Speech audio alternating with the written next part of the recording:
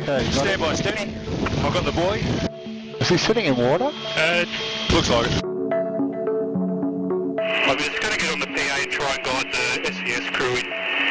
The boys in the creek just down there. Uh, the two SES coming towards us have gone past. There's a guy at the back that's got him.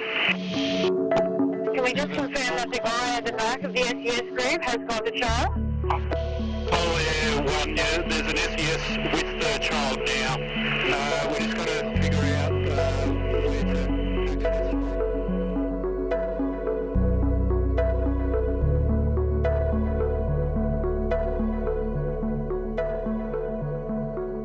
It was absolute joy. I mean, as soon as we, uh, as soon as I saw the image of him on the screen, um, I was just, you know, taken back, and we straight away knew it was him. I couldn't believe it actually. Initially, you know, we'd only just started the search. We're in the second valley, and um, yeah, it just like, wow, that's him. I've got the boy.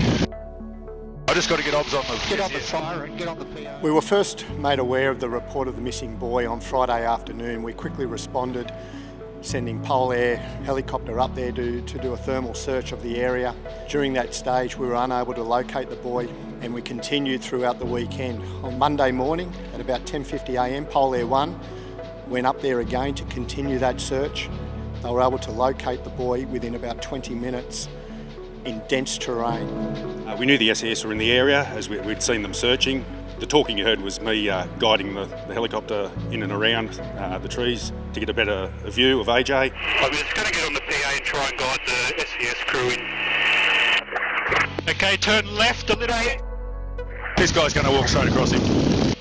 Uh, when he looked up at us, it, it was the best feeling ever. Uh, for a while, he just seemed totally unperturbed by a helicopter hovering over his head. Uh, but then when he did look, look up, it was yeah brilliant. It's just one of those things that brings you back the next day. Honestly, um, in our line of work, unfortunately, the outcome is not always favourable. But to, to get a result like yesterday, yeah, Is he sitting in water? Uh, Looks like it. I said to the boys um, once we're heading back for fuel, I said, well, if that doesn't make you happy, nothing will, you know. He was just happy to be drinking water by the looks of it. From rescue coordinators right through to the volunteers, caterers, you know, you name it. Me and these two guys, we're just part of the team that was involved in it. a fantastic result and one demonstrating the commitment and the passion by our emergency services. And can we just confirm that the guy at the back of the SES group has got the child? PolAir 1, yeah, there's an SES with the child